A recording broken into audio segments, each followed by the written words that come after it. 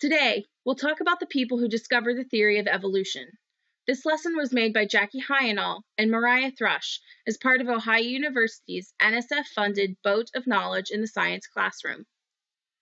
You've probably seen this picture, but do you know who this is? Charles Darwin is referred to as the father of evolution because he came up with concepts of evolution after his experiences abroad and reading the work of people before him. Let's start with Darwin's experiences. His profession was as a naturalist and a geologist. After graduating college, Darwin boarded the British ship the Beagle and helped to survey South America, including the Galapagos Islands. This trip lasted five years, and Darwin learned much from his experiences.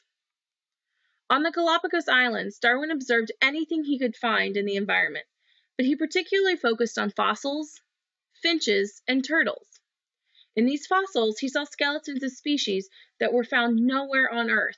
In other words, these fossilized species were extinct. Darwin looked at living animals too. He observed a, spe a specific type of bird called a finch.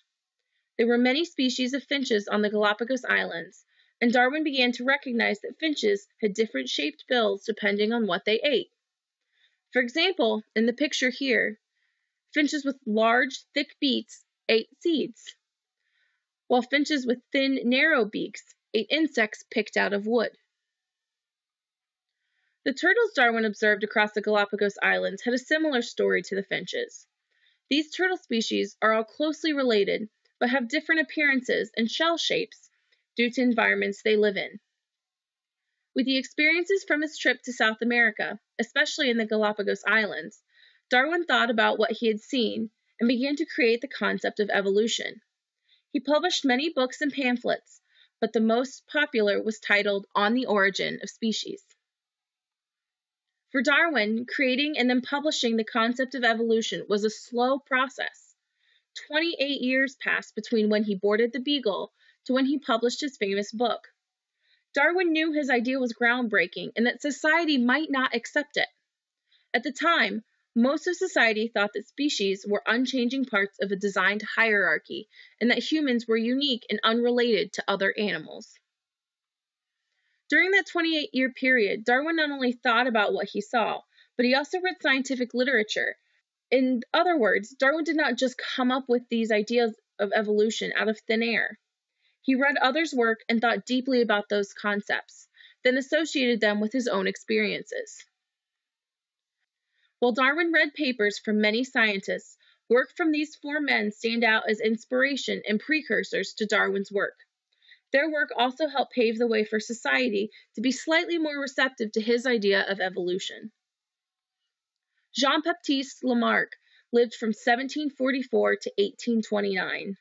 Lamarck's work published in 1815 asserted that acquired traits are inherited.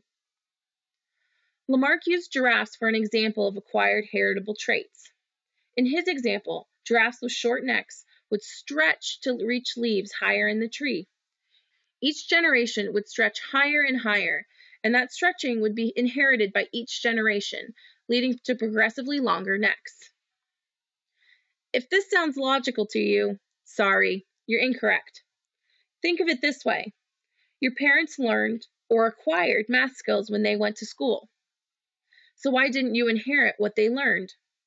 Another way to think about it is a person who loses their arm in an accident and then has children will not have one armed children. Darwin didn't just read papers in biology, he read other subjects, including geology. James Hutton is considered the father of modern geology. As Darwin had evolution as his big idea, James Hutton had a big idea called uniformitarianism. Uniformitarianism explains that the features of Earth's crust, such as mountains, were made by natural processes over geologic time.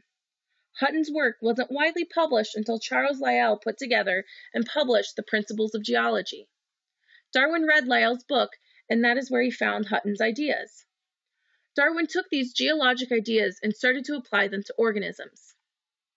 Thomas Malthus wrote an essay on the principle of population in 1798. In his essay, he observed that plants and animals produce more offspring than can survive, and that environmental forces help to limit the number of offspring that survive. The limit in the number of offspring that survive translates to a limit of population growth. Malthus wrote that population growth is limited by overcrowding and a lack of food, which in turn lead to war, famine, and disease. The theory of evolution didn't appear overnight, and Darwin had a great deal of help in creating this concept.